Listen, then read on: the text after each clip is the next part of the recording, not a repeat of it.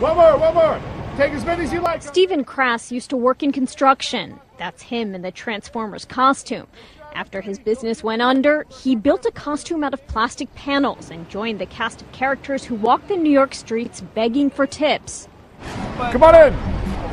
On a good day, he's made as much as $280. On his worst, a mere 17 bucks. It's easy to say, oh yeah, these guys make 300 a day. Yeah, on that one day, and then the next time you saw them, they were begging for lunch money, which is what I'm doing now.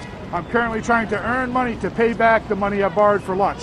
As the numerous Elmos and Cookie Monsters walk the streets fighting for the same tips, things can and do get ugly. Recently, a man dressed as Cookie Monster allegedly pushed a two year old after his parents didn't tip. A man dressed as Super Mario was charged with groping a woman back in December. While the man in this video, dressed as Elmo, was busted last summer for shouting anti Semitic slurs. Don't use Michael Milken's International Jew brand leapfrog. Don't use Michael Milken's International Jewish toy. Some of the costume characters are a little too aggressive. It's just how it is. These guys can't see anything, especially when it's in the shade, and especially when there's a big crowd on top of them. The visibility out of here is like this. I mean, I literally cannot see anything.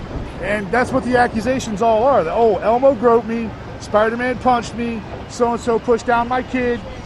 I'm sorry, I just don't believe that. And those New Yorkers who stopped to pose agree. The bad behavior may just be isolated incidents and welcome the huggable attractions. It brings more um, kids to come to Times Square because they already know that these characters are here. Long as their parents remember to tip. In New York, Bonnie Ghosh, Associated Press.